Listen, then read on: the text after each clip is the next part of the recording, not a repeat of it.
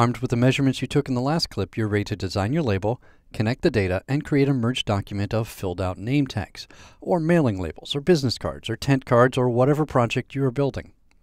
Ready your design. If you're following along creating name tags with the course demo files, open nametagsstart.indd from the name tags project folder.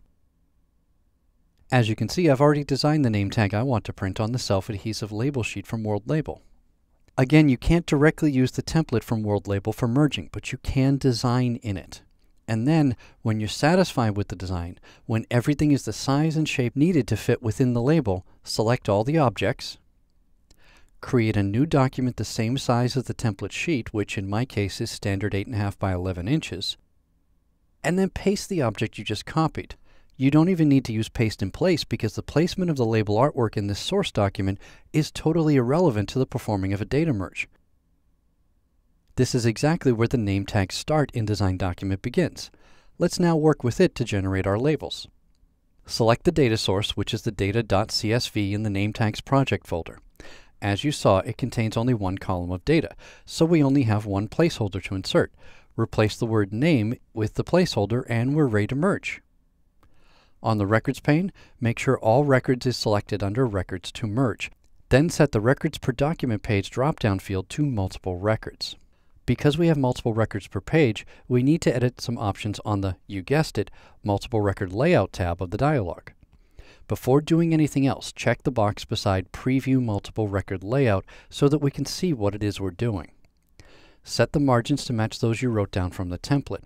In fact, just set the top and left margins. The other two don't really matter in this case because it's going to build the page from the top left corner. Down in the spacing section, set the space between columns as the width you copied from the rectangle we used to find the horizontal space between labels. The between rows value should be the height measurement from the second rectangle we drew in the label template. The labels, or business cards, or whatever you're making, should now all be aligned to fit on the pre-cut, perforated, or scored sheets of your project. Check the Arrange by option above spacing. Do you want records to be printed in columns first, meaning record 1 starts at the top of the column, record 2 below it, record 3 below that, and so on, or do you want to go across first, putting record 2 beside record 1? If your records are filling the sheet, the decision of columns or rows first doesn't much matter. When it does matter is when you print less than a full sheet. Here, for instance, the four name tags will leave four others blank below them. At some point in the future, I may want to print on those four unused name tag labels. Is it going to be easier for me to print them as four on the bottom, or as a continuous column of four? That answer depends on your printer and workflow, so I'll let you answer it for yourself. Make the arrangement decision, choose the appropriate radio button, and then click OK. You now have a new InDesign document with merged labels ready for printing.